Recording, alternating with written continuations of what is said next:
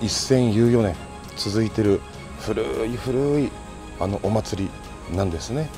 やっぱりこの神事なんですけども何回出ても何回やってもやっぱりものすごく惹かれるものっていうのはやっぱりあるので。